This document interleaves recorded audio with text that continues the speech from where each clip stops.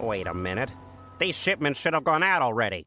Hey, Peter, all these trucks were supposed to be on the road hours ago. Did you make any changes to my schedule? No?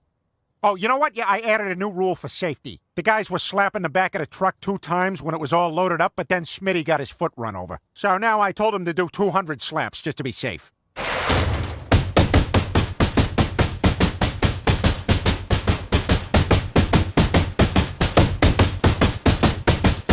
How many was that? Uh, 35, 40. I can't tell. We got like six other slappers going.